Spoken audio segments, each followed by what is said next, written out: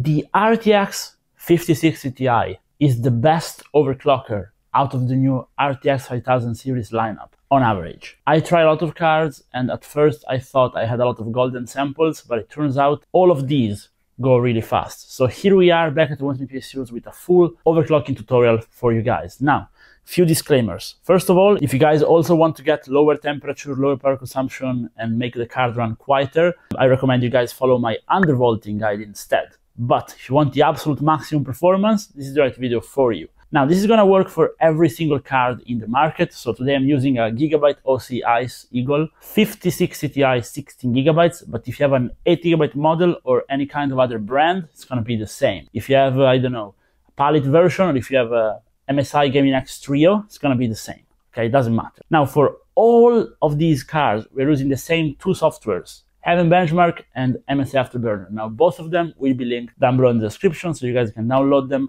and I'm using the stable version of Afterburner, but if you have the beta version, it's gonna also work with the same numbers. But if you want to cross-reference what the UI looks like, because it's slightly different, you can also go check out my RTX 5070 Ti undervolting guide, where I am using the beta version. So with that said, let's get into Windows, let's start tweaking. But before, let me ask you guys something. If at the end of the video, it's gonna be helpful, if you could drop a like and subscribe, you'd help me out a lot with the channel. So that's the only thing I ask after you've done the tutorial, okay?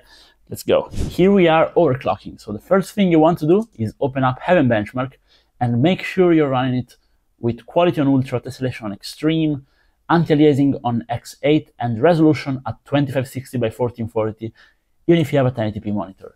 At this point, you want to press the Windows key and open up MSI Afterburner. Now, once you're here, what you want to do is go into settings and unlock voltage monitoring and voltage control. Hit apply, hit yes, and it's gonna pop up again.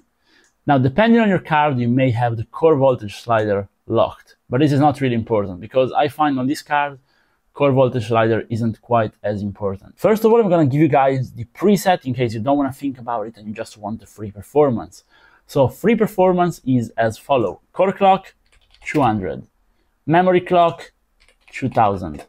Power limit, fully unlocked. Don't worry about it. Hit apply. And uh, you've done it, guys. Now you want to save this to run all the time. So hit save, click on one, click on one, click save, go into settings, hit start with Windows, start minimize, hit apply, hit OK, and you can now minimize this and go play your games with an extra 10% free performance pretty much. However, if you want to stick around, I can show you how you can get a lot more because this card is the best overclocker out of the 5000 series so far, okay?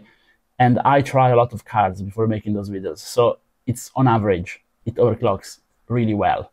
So with that said, if you have the beta version, you can fully unlock this one to 3000. It's gonna always work pretty much, but I like to run it on 2000 because I don't wanna stress my memory too much. But really 3000 is gonna work fine, so just do it. Now, core clock. Here's how you do it with the method, okay? So you wanna go up 100 megahertz at a time. So you wanna try 300, hit apply, go play games and run some benchmarks and see if it crashes. Now, if it doesn't crashes, you wanna go up by another 100 megahertz. So in this case, 400. Go test it out. Now, eventually it's gonna crash. Once it crashes, you wanna go back 50 megahertz but not from the crash point.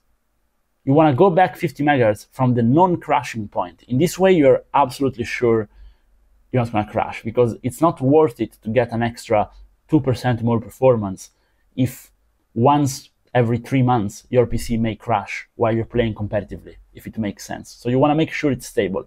However, I'm also going to tell you guys, on average, most cars can do 400. So this is just as a reference point. I know it's crazy, but some cars can do 500 points stable. Not this one though, as you can see. And if you crash, there's nothing to worry about. Your screen may go black, okay? But it's gonna eventually come back. And even if it doesn't, you can just turn off the PC. You then wanna hit reset over here. And uh, after you crash, I recommend you reboot your PC before getting back into testing, okay? You don't want to keep testing after crashing because it may uh, alter your values. You may not be getting an adequate test. Now this card specifically tops out at 450 with an unlocked power limit and 2000 megahertz on the memory clock. This is what I would be running at. However, if it was my card for my daily driver, I would run it at around 350 because I want to be extra sure that everything is stable. And this is pretty much it. Overclocking is a lot simpler than undervolting. As you can see, every single one of you guys can do it. I hope this video was helpful. And if it was, please drop a like and subscribe. And also drop a comment down below. Tell us what was your maximum and what you're currently running as a daily overclock. And of course, if you have any kind of questions, drop them down below. I try to see them all and to answer them all. And uh, take care. Bye bye.